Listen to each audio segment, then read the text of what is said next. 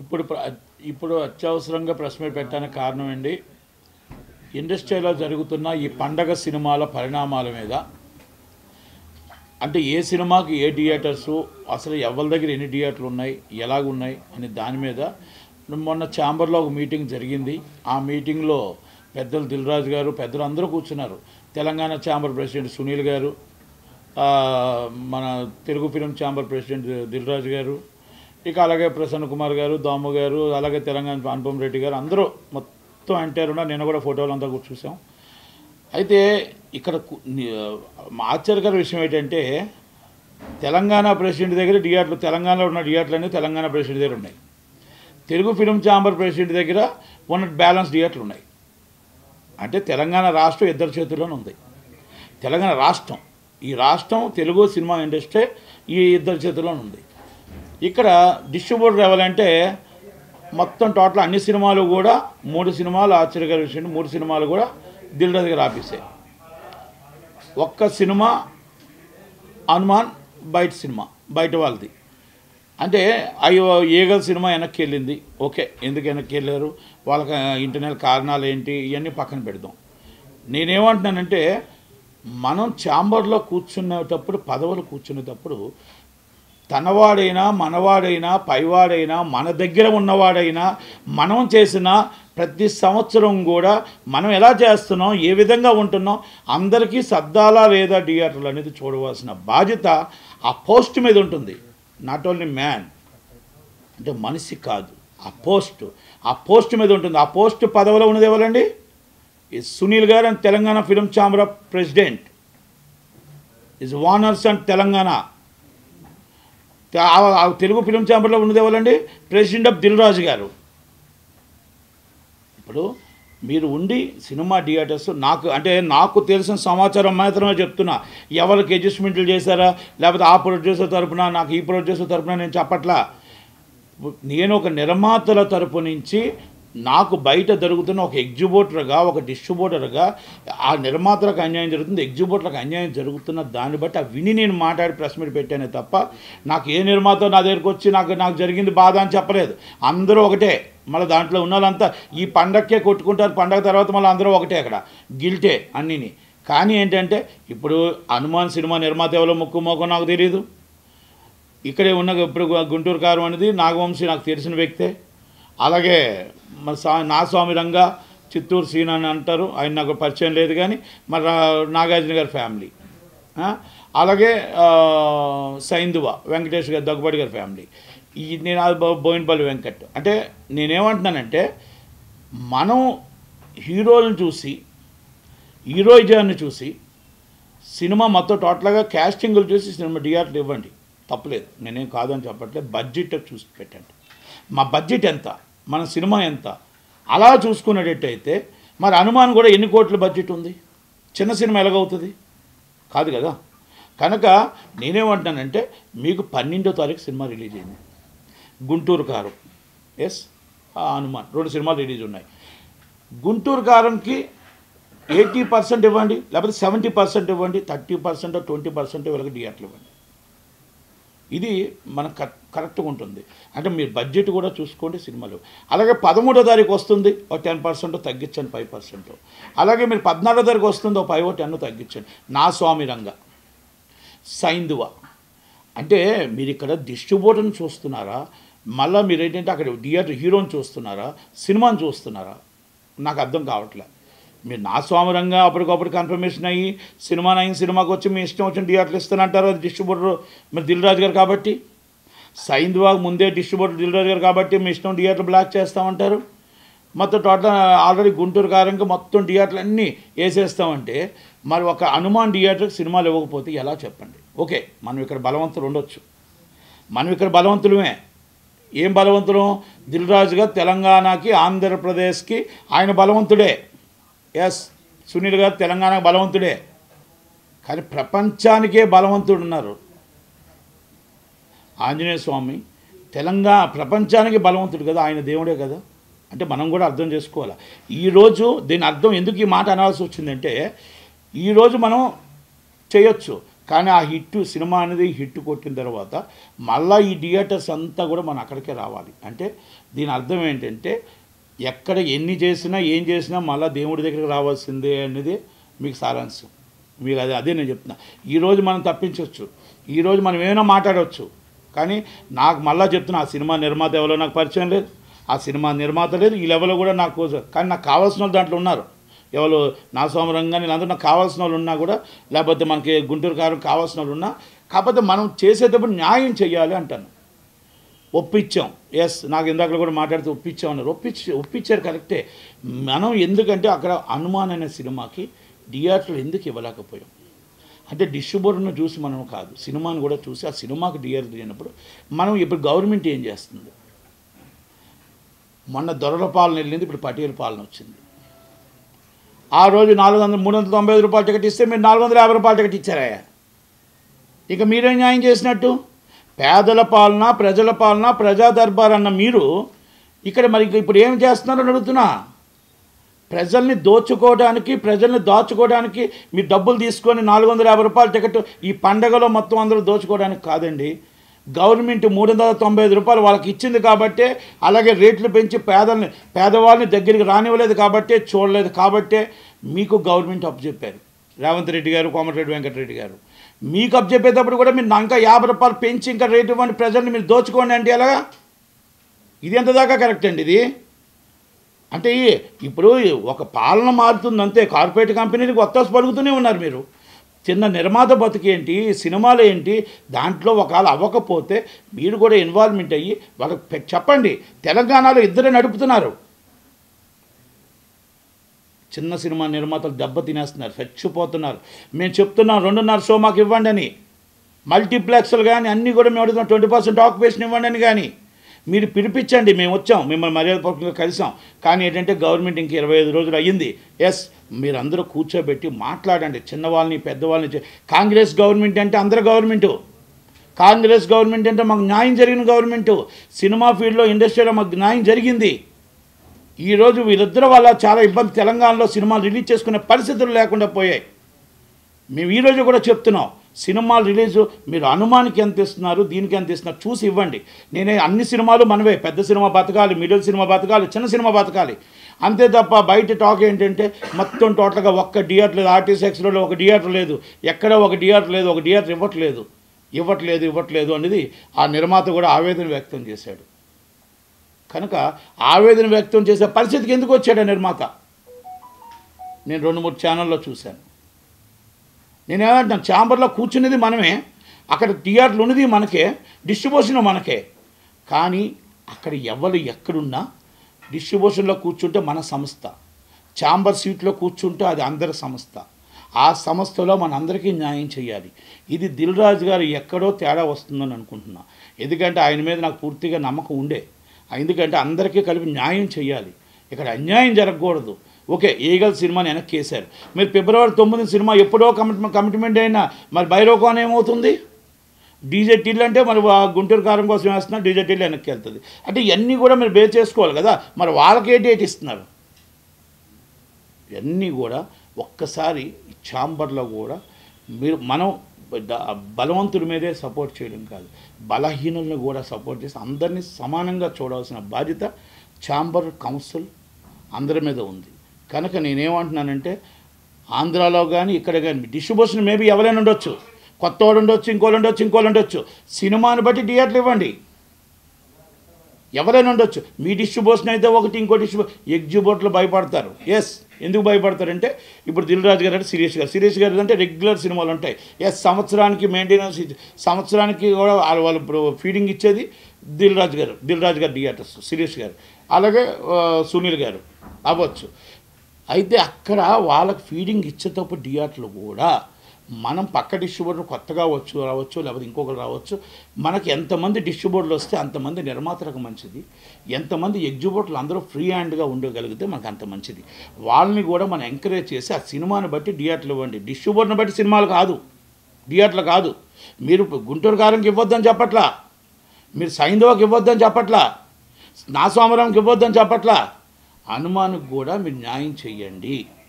అనేది నేను చెప్తున్నా. మీరు సినిమాల రూపంగా వెళ్ళి ఈ బడ్జెట్ ఎంత ఈ బడ్జెట్ ఎంత ఈ బడ్జెట్ ఎంత అని చెప్తే ఇక మాకు ఇంకొకరిని అవమానించిన వాళ్ళు అవుతాం మనం.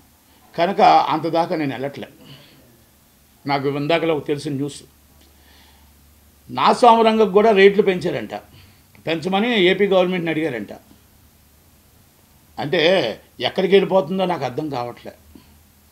వంద కోట్లు ఏపీ గవర్నమెంట్ వాళ్ళు చాలా చక్కగా చెప్పారు వంద కోట్లు దాటిన బడ్జెట్ మాత్రమే మేము ఇస్తాం తక్కువ వాళ్ళకి మేము ఇవ్వమన్నారు ఒక బ్రోకి ఇవ్వలేదు ఒక లెజెండ్కి ఇవ్వలేదు ఒక సినిమా మళ్ళా ఇది భగవత్ కేసరికి ఇవ్వలేదు. విభజించు పాలించు చేస్తారు వాళ్ళు. వాళ్ళది ఎలాగుంటుందంటే వాళ్ళ తాలూకా వాళ్ళు వాళ్ళ ఇంట్లో వాళ్ళైతే ఎంతైనా సరే ఇస్తారు. మరి ఇదే వ్యక్తులు మరి అలాగే పరమ ఈ సినిమాలకు వచ్చేటప్పటికి మరి ట్యాక్స్ ఫ్రీ ఇచ్చారని చెప్పేసి మరి శాతకర్ణికి ట్యాక్స్ ఫ్రీ ఇచ్చారని చెప్పేసి ఓ గగ్గోలు పెట్టారు. మరి మీరు చేస్తుంది ఏంటి వైసీపీ గవర్నమెంట్ మీరు చేస్తుంది ఏంటి మీకు ఇష్టపడిన వాళ్ళకి రేట్లు ఇస్తారు. ఇష్టం లేని వాళ్ళకి రేట్లు ఇవ్వరు. అంటే ఇది మీరు ప్రజలను దోచుకోవడం కాదా? ప్రజలను వంచడం కాదా? ప్రజలను ఫ్రీగా రేట్ ఇచ్చి మార్కెట్లో రేట్ ఎంత ఉందో ఎవరు తీయమన్నారండి మిమ్మల్ని? కాస్ట్ ఆఫ్ ప్రొడక్షన్స్ వందల కోట్ల రూపాయలు మీరేం పెట్టట్లా? మీ రెమ్యునేషన్స్ పెంచుకుంటున్నారు మీ కాస్ట్ ఆఫ్ చార్టెడ్ ఫ్లైట్లు పెంచుకుంటున్నారు మీరు ఖర్చులు మొత్తం పెంచుకుంటున్నారు కార్వేన్లు పెంచుకుంటున్నారు ఎక్స్ట్రా ఖర్చు తప్ప కాస్ట్ ఆఫ్ ప్రొడక్షన్స్ ఎవరైనా వచ్చి నా దగ్గర చేర్చుకొస్తారో చెప్పండి. ఎవరు పెట్టారు కాస్ట్ ఆఫ్ ప్రొడక్షన్ లివింగ్ చెప్పమనండి వాళ్ళని. వీళ్ళంతా పెంచి ఎవరి దగ్గర దోచుకుంటున్నారు ఇది? ప్రజల దగ్గర దోచుకుంటున్నారు. మీరు నాలుగు వందల నలభై రూపాయల టికెట్ ఎవరి దగ్గర? ప్రజల దగ్గర దోచుకుంటున్నారు. ఇది ఎంత దాకా కరెక్ట్? ఒక్కసారి ప్రజలు ఆలోచించండి. ప్రజలు ఆలోచించాలి గవర్నమెంట్లో ఆలోచించాలి. ఇది ప్రజల సొమ్ము. ప్రజల డబ్బు తీసుకొని ఏది? మీరు సినిమాకి ఇప్పుడు బస్ టు బస్కి మన ఊర్లో వెళ్ళాల్సి వస్తే బస్సు ఎంత రేట్ అయినా కొంటున్నారు కదా అని సినిమా కూడా ఎంటర్టైన్మెంట్ అండి. ఎంటర్టైన్మెంట్ కావాలని చెప్పి ఆ ఎంటర్టైన్మెంట్ విషయంలో వాళ్ళు టికెట్ ఎంత రేట్ అయినా కొంటారని ఫ్యాన్స్ అని అభిమానాన్ని మనం దోచుకోకూడదు. అభిమానాన్ని దోచుకోకూడదు. ఒక్కసారి ఆలోచించుకోవాలి. ఆలోచించుకొని నిర్ణయం తీసుకోండి. ఛాంబర్లు కూడా హనుమాన్ థియేటర్లకు అన్నింటికి థియేటర్లు ఇస్తాయని గవర్నమెంట్ కూడా రెండు గవర్నమెంట్లు చొరవ తీసుకుంటాయని మరి అలాగే రేట్లు పెంచకుండా చూస్తాయా? మళ్ళా లేదు ఈ రేట్లు పెంచేసి ఈ థియేటర్లు ఆర్టీసీ బస్సులు మొత్తం ప్రైవేట్ బస్సులు జనాల్ని దోచుకుంటున్నట్టు ఈ ఎంటర్టైన్మెంట్ కూడా ప్రజలకు దూరం చేసి వాళ్ళ దగ్గర కూడా మనం దోచుకోవాలని చూస్తామా? ఒక్కసారి ఈ రెండు గవర్నమెంట్లు చొరవ తీసుకుంటాయా లేదో చూద్దాం. చూసిన తర్వాత మళ్ళీ మీకు ప్రెస్ మీట్ పెట్టి మాట్లాడతాను.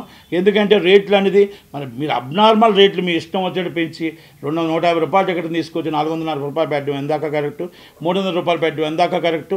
ఇది తెలంగాణ గవర్నమెంట్కి కరెక్ట్ కాదు. ఇది తెలంగాణ ప్రజలు డబ్బుని మనం తీసుకొని ఏం చేస్తున్నాం? ఇలా రెమ్యునేషన్లు పెంచుతున్నాం. ఇలా ఎంజాయ్మెంట్ పెంచుతున్నాం అనేది గుర్తుపెట్టుకోవాల్సిందిగా గుర్తు చెప్తున్నా. అలాగే మీకు దయచేసి ఏపీ గవర్నమెంట్ జగన్మోహన్ రెడ్డి గారు అలాగే పోసాని కృష్ణమురళి గారు ఎఫ్డీసీ చైర్మన్ పోసాని కృష్ణమురళి గారు గ్రేట్ సినిమా ఫీల్డ్కే మీరు చాలా గొప్ప వ్యక్తి అని చెప్తారు. నేను చాలా గొప్పవాడిని చంద్ర ఉదయం లేకపోతే చంద్రబాబు అని పవన్ కళ్యాణ్ అందరినీ తిడుతుంటారు. ఏమైపోయిందండి మీరు? ఎక్కడండి నాగార్జున గారికి ఎంత ఎంత ఎంత బడ్జెట్ మీరు ఎలా రేట్లు ఇస్తారండి? అంటే మీ చుట్టాలు అయితే వాళ్ళు మీ చుట్టాల నిర్మాతలు అయితే మీ ఇష్టమా? ఎక్కడి దాకా వెళ్తుంది సార్ ఇది? మీరు పెట్టిన గైడ్లైన్సే కదా వంద కోట్లు దాటాలని. మీరు పెట్టిన గైడ్లైన్సే కదా మొత్తం టోటల్గా జిఎస్టీ లిస్టులు ఇవ్వాలని. మరి బోలో శంకర్కి ఎందుకు ఇవ్వలేదు? మళ్ళీ మీరు ఎందుకు బ్రోకి ఎందుకు ఇవ్వలేదు? మరి ఎందుకు ఇవ్వలేదు? అంటే మీ చుట్టం అయితే మీరు ఎన్నైనా చేస్తారు. మీ బయట వాళ్ళు అయితే అపోజిషన్ లీడర్స్ అయితే అసలు సినిమాని కూడా సినిమా ఆడడం కూడా ఆడినవరు ఇదా మీ న్యాయం. ఇదా మీ గవర్నమెంటు నేను అందరికి అక్క చెల్లెలు అండగా ఉంటానంటారు వాళ్ళకి అండగా ఉంటానంటారు వీళ్ళకి అండగా ఉంటానంటారు అంగన్వాడీ అక్క అక్కల్ని చెల్లెల్ని అంగన్వాడీ రోడ్డు మీద పడేస్తారు.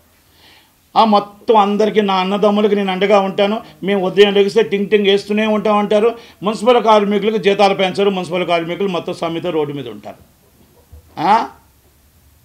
ఎక్కడుంది sir Rajasekhar Y- Y- Rajasekhara Reddy గారి గవర్నమెంటు? ఎక్కడుంది సార్ రాజశేఖర రెడ్డి గారి పాలన? జగన్మోహన్ రెడ్డి గారు. రాజశేఖరుడు పాలన అంటే రాజశేఖర రెడ్డి గారి పాలన అంటే ఒక శకం అండి. శకం వచ్చింది శకం ముగిసింది. ఇది మీ పాలన కాదు సార్. రాజశేఖర రెడ్డి గారి పాలన కాదు ఇది జగన్మోహన్ రెడ్డి గారి పాలన. నియంత పాలన ఎట్లర్ పాలన. ఇది ఎట్లర్ పాలన అంటారండి దీన్ని. ఎందుకంటే సినిమాని నాట్ ఓన్లీ సినిమానే కాదు ఇస్ ద మొత్తం టోటల్ జనాలు కూడా ఇబ్బందులు పడుతున్నారు. జనాలు కూడా కష్టపడుతున్నారు. మీరు పే- మేము వేసి టింగ్ టింగ్ వేస్తున్నట్టు ఎస్ మీరు టింగ్ టింగ్ వేసినా మా సొమ్ము మా ప్రజల సొమ్ము. మా సొమ్ము తీసుకొచ్చి మీరు వేస్తున్నారు. వీరు కాకపోతే చంద్రబాబు నాయుడు గారు వేస్తారు. చంద్రబాబు నాయుడు కాకపోతే పవన్ కళ్యాణ్ గారు వేస్తారు. వాళ్ళు కాకపోతే షర్మిలా గారు కాంగ్రెస్ గవర్నమెంట్ వేస్తుంది. కానీ మా సొమ్ముని మీరేస్తున్నారు తప్ప మీ వైసీపీ సొమ్మునో మీ ఇంట్లో సొమ్మునో మాకు వేయట్లేదు అది రెండోది మీ రోడ్లు అద్దానంగా ఉన్నాయి. మీరేసే పదివేల రూపాయల ఆటో వాడికి ఇరవై ఐదు వేల రూపాయలు ఖర్చు అవుతుంది ఆటోలు. ఆ రోడ్లు నడుపుతుంటే. మీరు వేస్తున్న చలాన్లు ఎంత? ఇలా ఉదాహరణకు చూసుకుంటే మీరు వేసిన అమ్మఒడి అవ్వచ్చు ఇంకోటి అవ్వచ్చు ఇంకోటి అవ్వచ్చు. ఏ కార్యక్రమాలు వేసినా కూడా వాలంటీర్స్ అంటారు. ఎస్ వాలంటీర్స్కి అందరికైనా రిక్వెస్ట్ నేనేమంటున్నానంటే వాలంటీర్స్ మీరు అందరూ కూడా మీరు గవర్నమెంట్కి పనిచేస్తున్నారు. ఇది జగన్మోహన్ రెడ్డి గారి గవర్నమెంట్ కా జగన్మోహన్ రెడ్డి గారికి కాదు. ఆ గవర్నమెంట్ ఈరోజు జగన్మోహన్ రెడ్డి గారి గవర్నమెంట్ ఉండొచ్చు. లేకపోతే రేపు చంద్రబాబు నాయుడు గారి గవర్నమెంట్ కానీ ఇంకో గవర్నమెంట్ ఏ గవర్నమెంట్ ఉన్నా మీరు గవర్నమెంట్కి పనిచేస్తున్నారు. దయచేసి మీరు గవర్నమెంట్కి ఏ విధంగా మీరు అందరూ కూడా ఆ యాభై మందికి వాలంటరీ ఉన్నారో అడ్మిన్ ఉన్నారో మీరు అది గుర్తు పెట్టుకోండి దయచేసి మిమ్మల్ని ఎవరు తీసిరండి మిమ్మల్ని అధైర్యపడొద్దు. ఇది రాజశేఖర రెడ్డి గారు అవ్వచ్చు జగన్మోహన్ రెడ్డి గారు అవ్వచ్చు లేకపోతే చంద్రబాబు నాయుడు గారు అవ్వచ్చు. మేబీ ఎవరైనా అవ్వచ్చు. కానీ గవర్నమెంట్ ఇక్కడ ఉన్నారు కాబట్టి ఏ గవర్నమెంట్ వస్తే ఆ గవర్నమెంట్ మిమ్మల్ని ఆదరిస్తుంది మిమ్మల్ని చేస్తుంది. అందుకే మీరు గవర్నమెంట్ ఎంప్లాయ్గా చేయండి. మీకు మాకు తెలిసిన సమాచారం ప్రకారం మీరు డేటాలన్నీ కూడా మళ్ళీ వైసీపీకి ఇస్తున్నారు. మళ్ళీ డేటాస్ అన్నీ కూడా అకౌంట్స్ అన్నీ కూడా మీరు ఇస్తున్నారు అనేది కొంత సమాచారాలు ఉన్నాయి. దయచేసి అలా మీరు డైరెక్ట్గా వైసీపీకి సపోర్ట్ చేసిన వాళ్ళు ఎవరైనా ఉంటే already complaint is election commission election commission compulsory complaint పెడతాం. దాంట్లో నో డౌట్ మీరందరూ కూడా నిజంగా గవర్నమెంట్కి పనిచేయండి ప్రజలకు పనిచేయండి ప్రజల పక్షాన పనిచేయండి. అంతేగాని మీరు ఏదో జన జగన్మోహన్ రెడ్డి గారికో వైసీపీకో పనిచేయడం అనేది కరెక్ట్ కాదండి. ఇది మా ప్రజల సొమ్ము. మీకు ఇచ్చే జీతం కూడా ప్రజల పబ్లిక్ సొమ్మే మీకు ఇస్తున్నారు తప్ప అది జగన్మోహన్ రెడ్డి గారో లేకపోతే వైసీపీ ఇవ్వట్లేదని మాత్రం మళ్ళీ మీకు చెప్తున్నా. అలాగే ఇక్కడ తెలంగాణలో గవర్నమెంట్ వచ్చింది ఇరవై ఐదు రోజులు. కాకపోతే ఏంటంటే ఇప్పుడు ఈ గబగబా మనం మాట్లాడడం అంటే ఇప్పుడు ఏదో సందర్భాలు వస్తున్నాయి కాబట్టి చెప్తున్నాను కానీ ఇంక ఇరవై ఐదు రోజులు వచ్చింది. కేటీఆర్ గారు వచ్చి తొందరగా మాట్లాడుతున్నారని అందరూ హరీష్ రావు గారు తొందరగా మాట్లాడుతున్నారు. మేము కూడా మాట్లాడడం కరెక్ట్గా భావ్యం కాదు. ఎందుకంటే మీకు టైం కావాలి. అలాగే చిత్రపూర్ కాలనీ మీద అరవై ఆరు ఎకరాలు అరవై ఆరు ఎకరాలకి చిత్రపూర్ కార్మికుల కోసం ఇచ్చారు. కార్మికుల కోసం ఇచ్చిన ల్యాండ్ అని దాంట్లో ఎమ్మెల్యేలు ఉన్నారు పోలీసులు ఉన్నారు అందరూ ఉన్నారు. కానీ కార్మికులు లేరు. కార్మికులు బయట ఉన్నారు. కనుక చిత్రపూర్ కాలనీ మీద కూడా ఎంక్వైరీ జరగాలి. చాలా సీరియస్గా ఎంక్వైరీ జరగాలి. దాని మీద కొన్ని వందల కోట్లు కుంభకోణం జరిగింది. అలాగే దాంట్లో కొంతమంది మినిస్టర్లది కొంతమంది పర్మిషన్ల కోసమని కొంతమంది టీఆర్ఎస్ పేమెంట్లు కూడా వెళ్ళాయి అనేది అన్నీ కూడా కొన్ని విట్నెస్లతోనే నా దగ్గర ఉన్నాయి. కనుక త్వరలోనే జగన్ రేవంత్ రెడ్డి గారిని కలుస్తాం. మళ్ళీ అలాగే కోమటిరెడ్డి వెంకటరెడ్డి గారిని కలిసి అన్ని విట్నెస్లు ఇచ్చి దాని మీద కూడా ఎంక్వైరీ జరగాలి. ఎందుకంటే క్యాష్ రూపంగా కొన్ని వందల కోట్లు బయటికి వెళ్ళింది. అయింది అలాగే మాకు నైన్టీన్ ఎయిటీ ఫోర్ తర్వాత నిర్మాతలకు ఫిలిం నగర్ తర్వాత ఏ నిర్మాతకి మాకు రాలేదు. కనుక మాకు రామానాయుడు గారు బిల్డింగ్ కిందన తొమ్మిది ఎకరాలన్నర ఉంది నాలుగు ఎకరాలు అన్యాక్రాంతం అయిపోయింది ఎఫ్డీసీకి ఐదు ఎకరాలు ఉంది కాబట్టి దయచేసి మా నిర్మాతలకు ఆ ల్యాండ్ కానీ మీరు ఇవ్వగలిగితే మేము అపార్ట్మెంట్స్ కట్టి తక్కువ అక్కడి నుంచి ఉన్న లైన్ క్యూ నిర్మాతలకు అందరికీ కూడా ఆఫ్టర్ ఫిల్మ్ నగర్ తర్వాత ఉన్న వాళ్ళకి మీరు చెన్నైలో ఉండేటప్పుడు అందరికీ ఇచ్చారు. తర్వాత వచ్చి చాలామంది సీనియర్ నిర్మాతలు వచ్చారు. ఇప్పుడు నిర్మాత ఇక్కడ ఎంఎస్ రాజు గారు అవ్వచ్చు లేకపోతే దిల్ రాజు గారు అవ్వచ్చు అందరూ ఇక్కడ తెలంగాణ నిర్మాతలే. కనుక దాంట్లో కూడా నేను చెన్నై నుంచి వచ్చినా కూడా నేను కూడా దీంట్లోనే ఉన్నాను. కదా మాకు ఫిల్మ్ నగర్లో రాలేదు. కనుక అది కూడా ఐదు ఎకరాలు ఇస్ ఇవ్వగలుగుతారా? లేకపోతే ఇంకెక్కడైనా తర్వాత మన సెకండ్ ప్లేస్ మాకు ఇవ్వగలుగుతారా? ఇస్తే మా నిర్మాతలందరికీ కూడా ఇప్పుడున్న ఈ తెలంగాణలోని ఉన్న నిర్మాతలందరికీ కూడా వాళ్ళకి చోటు వస్తుంది. ఉండటానికి ఎందుకు కోట్ల రూపాయలు నష్టపోయారు వాళ్ళకు కూడా. కార్మికులకి చిత్రపూర్ కాలనీ ఉంది. చిత్రపూర్ కాలనీలో నిజమైన కార్మికుడికి అందాలి. అలాగే ఈ క- కాంగ్రెస్ గవర్నమెంట్ చేస్తుందని పూర్తి నమ్మకం నాకు ఉంది కనుక రేవంత్ రెడ్డి గారి మీద నమ్మకం త్వరలోనే రేవంత్ రెడ్డి గారిని కలుస్తాం. దయచేసి ఈ పండగలో అందరూ పండగ పండగ ప్రశాంతంగా చేసుకోవాలి. సంక్రాంతి పండగ రెండు రాష్ట్రాల్లో చాలా పెద్ద పండగ. ఆ పండగలో మీరు రేట్లు పెంచడాలు ఆ మీరు రేట్లు పెంచి ప్రజల్ని మా ప్రజల దగ్గర డబ్బులు లాక్కోవడాలు చేయకుండా దయచేసి గవర్నమెంట్లు సీరియస్గా తీసుకొని చీఫ్ సెక్రటరీ గారు and Andhra Pradesh and Telangana and Komatireddy Venkat Reddy గారు ఎఫ్డీసీ చైర్మన్ విజయ్ కుమార్ రెడ్డి గారు అందరూ కూడా సినిమాటోగ్రఫీ గోపాలకృష్ణ గారు మీరందరూ కూడా దయచేసి రేట్లు పెంచకుండా ఉన్న రేట్లు మట్టిగా జనాలకు ఇస్తే ఎంటర్టైన్మెంట్ అనేది వాళ్ళు చూడగలుగుతారు.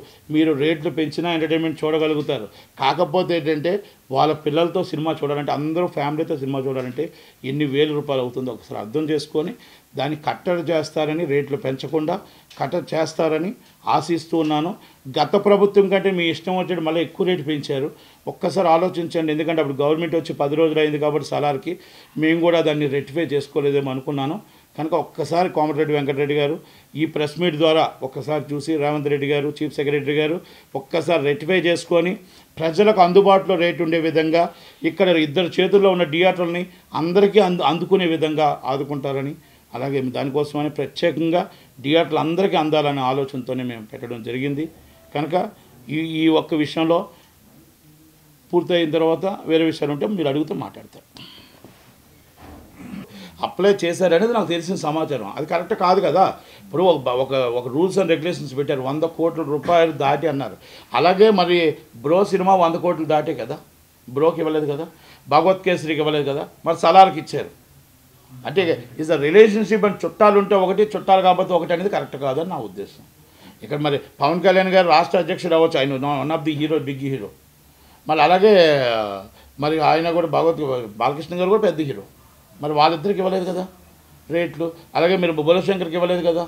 అందుకని మేము అడుగుతుంది ఏంటంటే మీరు రూల్స్ అండ్ రెగ్యులేషన్స్ అని పెట్టుకున్నారు కదా? ఆ పెట్టుకునే విధంగా మీరు ఫాలో అప్ అవుతే బాగుంటుంది. కానీ మీ చుట్టాలని రేట్లు ఇవ్వడం అనేది కరెక్ట్ కాదని నా ఉద్దేశం. అంతే.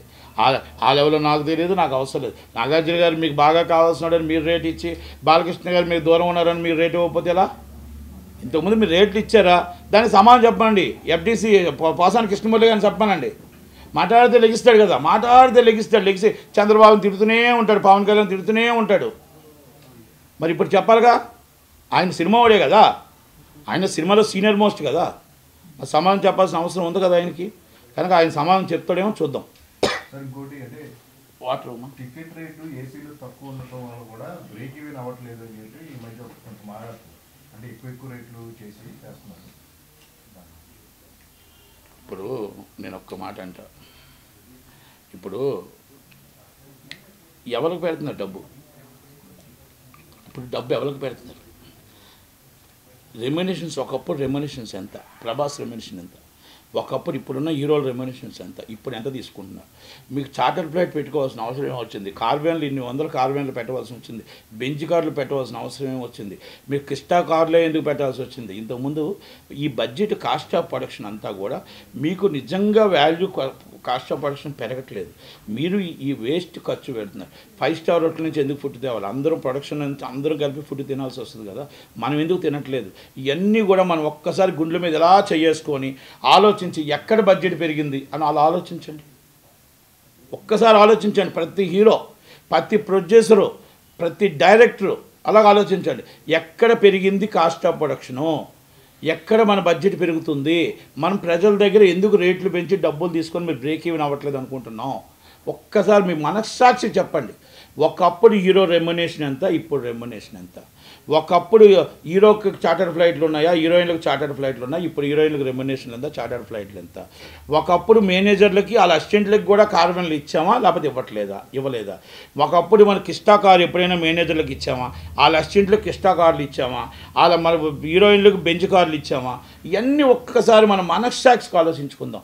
ఎప్పుడైనా ఫైవ్ స్టార్ హోటల్ నుంచి ఫుడ్ మనం తీసుకొచ్చి రోజుకు ఐదు లక్షలు నాలుగు లక్షలు ఫుడ్ వేస్ట్ చేసామా? ఇవన్నీ నిజాలు. అబద్ధం అయితే ఒక్కలైనా నా దగ్గరికి వచ్చి మాట్లాడండి. ఇది అబద్ధం. ఇది నిజం కాదు. మేము కాస్ట్ ఆఫ్ ప్రొడక్షన్లో ప్రొడక్షన్ దగ్గర ఫుడ్ తింటున్నాం. మేము కా మేము కార్లు పెట్టట్లేదు కార్వెన్లు పెట్టట్లేదు మేము చార్టర్ ఫ్లైట్లు పెట్టట్లేదు అని ఒక్కసారి మనస్సాక్షికి ఎవరున్నా కూడా చెప్పొచ్చు. ఆ డబ్బుని ఎవరి మీద వేస్తున్నారండి రేటు? ప్రజల మీద వేస్తున్నాం. అంటే అభిమాని. అంటే మనకి అభిమానించే పిచ్చిగా మనల్ని అభిమానించే అభిమానే ప్రజలు. ఆ ప్రజల దగ్గర మనం దోచుకోవడం నాలుగు వందల నలభై రూపాయలు మూడు వందల యాభై రూపాయలు టికెట్ వేస్తున్నాం. దానికి అక్కడ ఏం వేస్తున్నారు? బ్లాక్లో టికెట్లు అయితే వెయ్యి రూపాయలు. కానీ అభిమాని సినిమా చూడాలి. సేమ్ డే సినిమా చూసేయాలి. ఆ ఆ చూడడం కోసం ఆయన ఏదో అప్పు చేసో సప్పు చేసో మళ్ళా సినిమా చేసి వాళ్ళ ఫ్యామిలీని ఫస్ట్ పెడతాడు. అంటే ఆ అభిమానం అంటే అంత పిచ్చి. పొలిటికల్ కంటే సినిమా ఫీల్డ్కి అభిమానం అంటే అంత పిచ్చి. నేను అదే అడుగుతున్నా. పెద్దల చిరంజీవి గారు కానీ మరి ఎప్పుడైనా ఆలోచించారా? రెమ్యునేషన్స్ ఎంత? ఎలాగా? మరి పెద్దలు దాసనరాగా తర్వాత పెద్ద ఆయన ఆయనే. మరి ఏ రోజున ఎన్ని ఆలోచించారా? ఇవన్నీ పెట్టారా? దిల్ రాజు గారు అందరం కలిపి బఫీ సిస్టమ్ పెడదాం అనుకున్నాం. పెట్టాం. పెట్టిన తర్వాత మూడు రోజుల తర్వాత బ్రేక్ ఈవెన్ అయింది. మూడే రోజులు మూడే రోజులతో బ్రేకప్ అయిపోయింది. సారీ బ్రేకప్ అయిపోయింది. ఏమని? ఎవరు మళ్ళీ వద్దన్నారు ఎవరి కాలు తెప్పించుకుంటున్నారు ఫుడ్ అని. అలా ఒక్క ఫుడ్ కాదండి. మొత్తం వేస్టేజ్ మనకి ఎంత అవుతుంది? థర్టీ పర్సెంట్ వేస్టేజ్ వస్తుంది. థర్టీ పర్సెంట్ ఒక మూవీకి. ఆ థర్టీ పర్సెంటే ఈ బ్రేక్ ఈవెన్కి అడ్డు వస్తుంది. ప్రజల దగ్గర రేట్లు అమ్ముకుంటున్నాం. ఆ థర్టీ పర్సెంట్ వేస్టేజ్ చేయకుండా నిజంగా ప్రజల్ని మనం నిజంగా ప్రజల కోసమే సినిమా తీసి ఎంటర్టైన్మెంట్ ప్రజల కోసం ఫ్యాన్స్ కోసం సినిమా తీస్తే మీరు వేస్టేజ్ చేయకుండా జాగ్రత్త జాగ్రత్తగా చేయండి. ఒకప్పుడు రామారావు గారిని గుర్తెచ్చుకోండి నంద కృష్ణ గారిని చూసి గుర్తు తెచ్చుకోండి. నాగేశ్వరరావు గారిని గుర్తు తెచ్చుకోండి. సోమన్ బాబు గారిని గుర్తు తెచ్చుకోండి. అందరూ చాలామంది ఉన్నారు. వాళ్ళందరిని ఎందుకు మీరు గుర్తు తెచ్చుకోవట్లేదు? అంటే ప్రజల కోసమే సినిమా తీశారు. ప్రజల కోసం రెమ్యునేషన్ పెంచాలంటే ఆలోచించి పెంచారు. మీరు ఇవాళ సినిమా వస్తే రేపు వచ్చి వంద కోట్లు అయిపోతుంది. ఇవాళ రేపు వంద కోట్లు అయిపోతుంది రేపు నూట యాభై కోట్లు అయిపోతుంది. నూట యాభై కోట్లు పాన్ ఇండియా అంటున్నారు. పాన్ ఇండియా రెండు వందల కోట్లు చిన్న హీరోకి పాన్ ఇండియా పెద్ద హీరోకి పాన్ ఇండియా. అంటే పాన్ ఇండియా అంటే అర్థం వాల్యూ విలువ పోయింది అది కాదండి తెలుగు సినిమాకు తెలుగు సబ్జెక్ట్ నేటివిటీ తమిళకి తమిళ నేటివిటీ పాన్ ఇండియా సినిమాలు పాన్ ఇండియాకి వస్తాయి. పాన్ ఇండియా సినిమాలు అన్నీ పాన్ ఇండియా అవ్వవు. కొన్ని కొన్ని పాన్ ఇండియా అవుతాయి.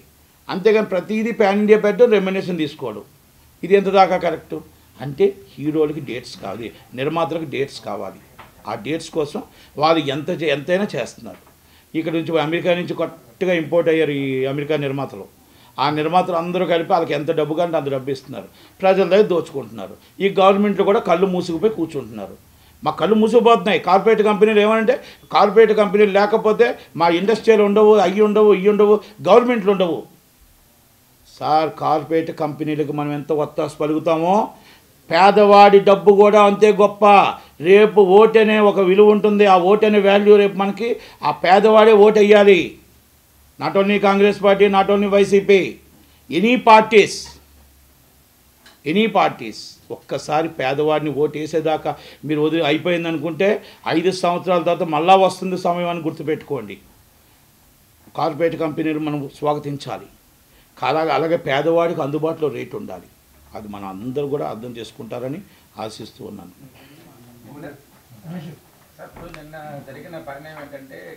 కేసీఆర్ గారి దగ్గరికి జగన్మోహన్ గారు వచ్చి కలిశారు. పరామర్శించారు. అదే చూసుకుంటే కాంగ్రెస్లో శర్మిలా గారు జాయిన్ అయ్యారు. దాని గురించి ఏమంటారు? ఇప్పుడు కేసీఆర్ గారికి జగన్మోహన్ రెడ్డి వచ్చి కలిసిన ఇప్పుడేం కొత్త కలయిక ఏం కాదు. రెండు వేల పంతొమ్మిది గవర్నమెంట్ రావడానికి కేసీఆర్ గారు చాలా తోడ్పడ్డారు. ఆయన నిలబడ్డారు. ఆయన మొత్తం టోటల్గా ఆయన బలమైన సంకల్పం ఉంది. అందుకని అక్కడ శర్మిల గారు ఇక్కడ హైదరాబాద్లో పార్టీ పెడతారన్నా కూడా ఆయన జగన్మోహన్ రెడ్డి గారు ఒప్పుకొని అన్నారు ఓకే అభిప్రాయ భేదాలు అన్న అన్న చెల్లెల మీద ఏదైనా అభిప్రాయ భేదాలు ఉండొచ్చు. దాని జోలికి నేను వెళ్ళట్లేదు. ఎందుకంటే ఫ్యామిలీలో కాదు కుటుంబంలో కాదు ఎంతమంది ఏ పార్టీలైనా పెట్టుకోవచ్చు ఏ పార్టీలైనా ఉండొచ్చు. ఇప్పుడు కేసీఆర్ గారిని కలిసి కేసీఆర్ గారిని పరామర్శించడానికి ఇప్పుడు వచ్చారు. పరామర్శిస్తూ ఆయన్ని మాట్లాడుతూ కొన్ని రాజకీయ మాటలు మరొక మాట్లాడుకుని ఉండొచ్చు. ఎందుకంటే ఇద్దరు కలయిక ఒకటే. రేపు ఎట్టి బస్సులో నా గవర్నమెంట్ పోయింది నీ గవర్నమెంట్ రావాలి. ఎట్టి బస్సులో నీ ఎలా సపోర్ట్ కావాలి ఏ విధంగా కావాలి ఏ విధంగా నిలబడాలి? ఎందుకంటే ఇద్దరు కలిసి నించున్నారు కాబట్టి ఇద్దరు కలిసి రావాలి రెండు గవర్నమెంట్లు అనుకున్నారు కాబట్టి.